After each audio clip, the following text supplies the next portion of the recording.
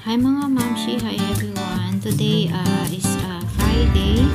So emergency po, papunta kaming uh, Heidelberg na kinder clinic sa mga clinic po para sa mga bata kasi nag-worry kami. 3 days na po kasi medyo nalagnat, tasina, tapos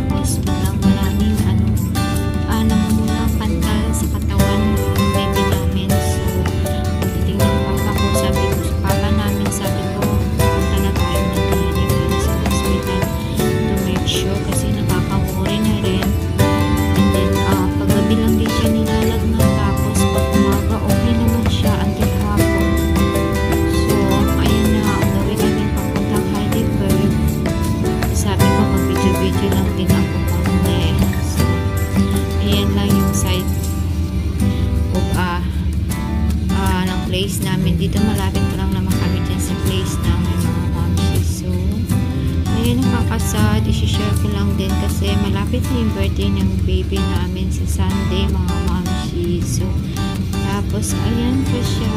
Medyo so part of growing talaga yung ganitong state natin mga mamsi. So, di ba okay naman siya dyan sa sasakyan. Di naman siya naiyak. Sabi ko, video-video tayo muna na ah. Din pa rin yung weather. Late na yan mga mamsi pa 6pm na to. Maaraw pa rin kasi dito pag summer na until ha- 10pm o the 9.30 ng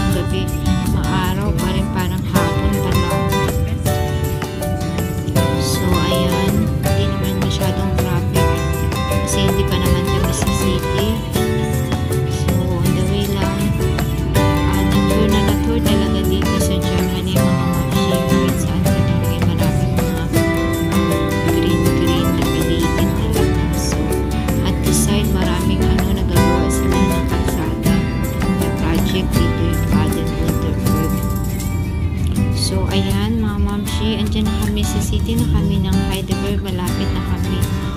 So, ayan yung ano, river nila dito.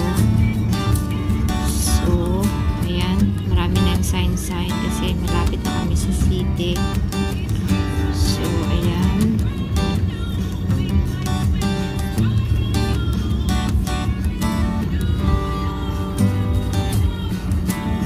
Medyo marami na kayo nakikita ng sasakyan kasi malapit na sa proper city.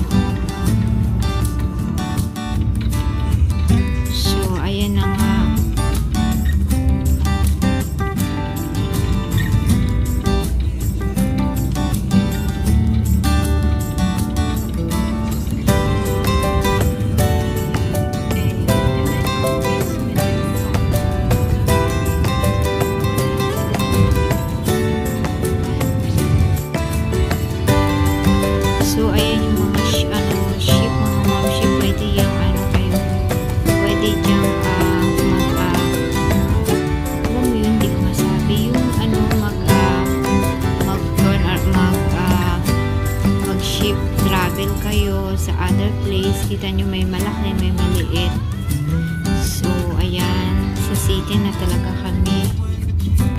So, ayan yung mga shop. Maraming mga shop dito. Pag maraming pera, tayo syempre marami din tayo magpili.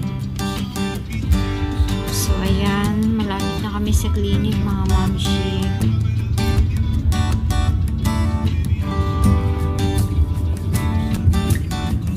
Itong area na to mga mamshi, ang mostly dito, ah, itong dinadaanan namin. Clinic po yan. Clinic dyan. Iba-ibang ano, mga patient, ibang-ibang ano, clinic na isabay-sabay na dyan nila.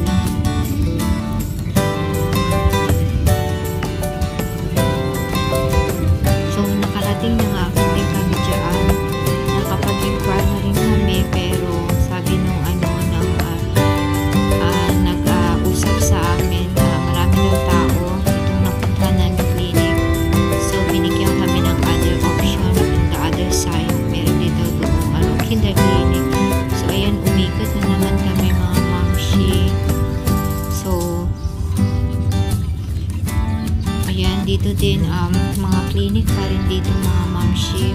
Daming ginagawa dito mga building. Ayun mga mamshi, andito kami So, ngayon sa ayan, andito na sa Kinder Kinder Clinic kasi nga nag-worry kami yung ah, anak ko yung parang pantal-pantal ang dami niyang um, ang dami niyang lumabas na pantal-pantal sa katawan niya so pagdating ng papa namin galing niya sa work. So sabi ko dali na natin sa Kinder Clinic para to make sure maging okay.